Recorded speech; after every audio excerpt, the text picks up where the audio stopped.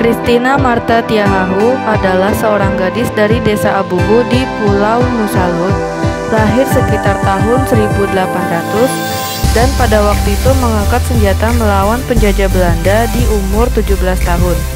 Ayahnya adalah Kapitan Paulus Tiahahu, seorang kapitan dari negeri Abubu yang juga membantu Thomas Matulesi dalam Perang Patimura pada tahun 1817 melawan Belanda. Christina tercatat sebagai seorang pejuang kemerdekaan yang berani di mana ketika ia terjun dalam medan pertempuran melawan tentara kolonial Belanda dalam Perang Patimura. Saat itu ia masih remaja, keberanian dan konsekuennya sangat terkenal di kalangan pejuang, masyarakat luas, bahkan para musuh. Sejak awal perjuangannya, ia selalu ikut mengambil bagian dan pantang mundur dengan rambutnya yang panjang terurai serta berikat kepala sehelai kain merah, ia tetap mendampingi ayahnya dalam setiap pertempuran, baik di Pulau Nusalut maupun di Pulau Sapapura. Siang dan malam ia selalu hadir dan ikut dalam pembuatan kubu-kubu pertahanan. Ia bukan saja mengangkat senjata, tetapi juga memberi semangat kepada kaum wanita di negeri-negeri agar ikut membantu kaum pria di setiap medan pertempuran, sehingga Belanda kewalahan menghadapi kaum wanita yang ikut berjuang.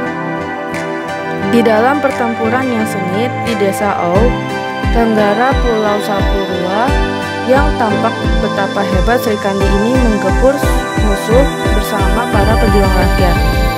Namun akhirnya karena tidak seimbang dalam persenjataan, tipu daya musuh dan pengkhianatan, para tokoh pejuang dapat ditangkap mati dan menjalani hukuman. Ada yang harus mati digantung, dan ada yang harus dibuang ke Pulau Jawa. Kapitan Paulus difonis hukum mati tembak. Christina berjuang untuk melepaskan ayahnya dari hukuman mati, tapi ia tidak berdaya dan meneruskan gerilya-nya di hutan.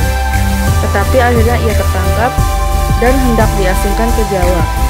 Saat itulah ia jatuh sakit, namun ia menolak diobati oleh orang-orang Belanda. Di kapal perang Everstein, Christina menemui ajalnya dan dengan penghormatan militer, jasadnya diluncurkan di Laut Belanda, tepatnya di Pulau Buru dan Pulau Manipa. Pada tanggal 2 Januari 1818, untuk menghargai jasa dan pengorbanannya, Marta Christina Tiahahu dikukuhkan sebagai pahlawan kemerdekaan nasional oleh pemerintah Republik Indonesia.